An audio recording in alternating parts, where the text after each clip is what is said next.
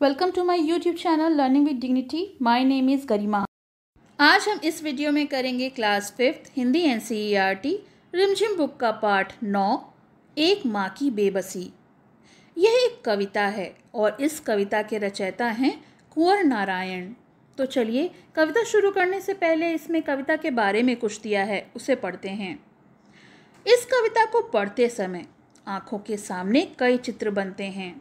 बचपन का चित्र बचपन के खास समय, खेल और साथियों के चित्र।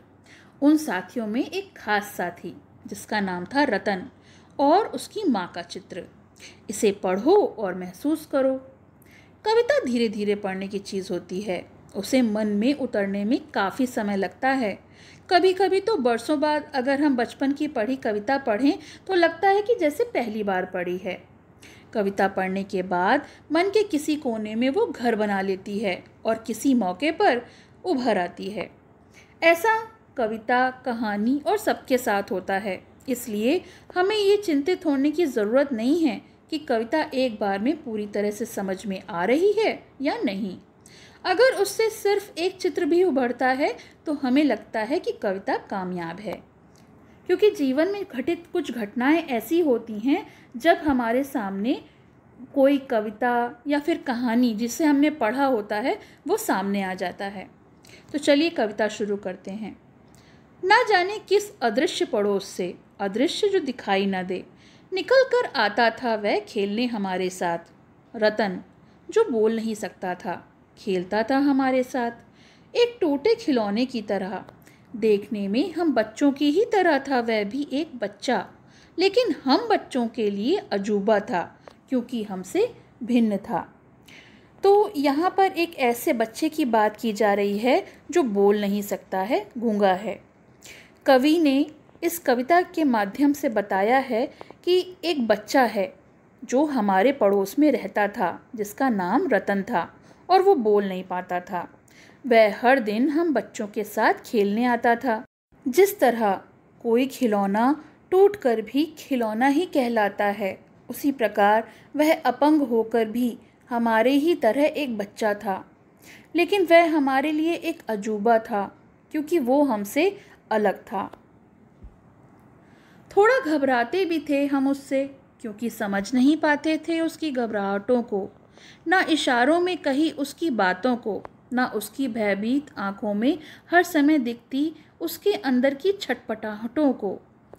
तो यहाँ पे कभी कहते हैं कि हम उससे घबराते भी थे और उसको हम समझ नहीं पाते थे। उसकी घबराहटों को हम समझना चाहते भी थे, तब भी समझ नहीं पाते थे। ना ही इशारों में कही हुई उसकी बातों को समझना आसान होता था। उसकी भयभीत आँखें, यानी डरी हुई आँखों में जो व्याकुलता रहती थी, उसे भी हम समझ नहीं पाते थे।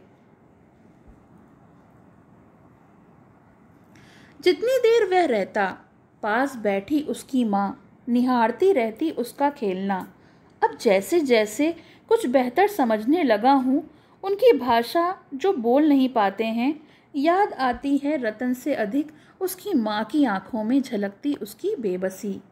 तो यहाँ प्रस्तुत पंक्तियों में कवि कहते हैं कि जब तक रतन खेलता था तो उसकी माँ उसके पास बैठी रहती थी। उसकी नज़र हमेशा रतन पर होती थी। कवि उन दिनों छोटे बच्चों की तरह थे मतलब रतन के साथी के रूप में। रतन के गूंगेपन के साथ साथ उसकी माँ की बेबसी को भी समझ पाने में उस समय वो असमर्थ थे, क्योंकि वो छोटे थे।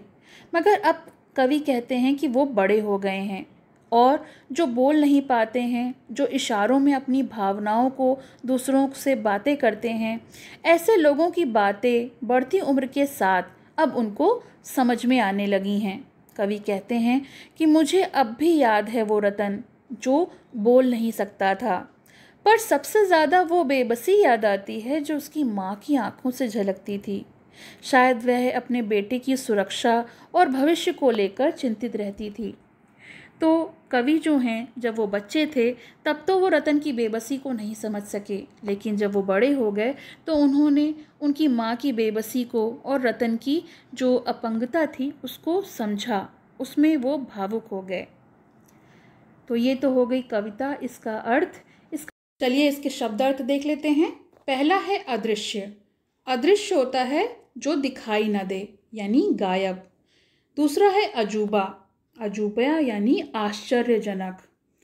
भिन्न भिन्न होता है अलग डिफर इशारों यानी संकेतों इंडिकेशन भयभीत होता है डरा हुआ, या फिर खौफजदा। छटपटाहट होता है बेचैनी। निहारती रहती यानी देखती रहती।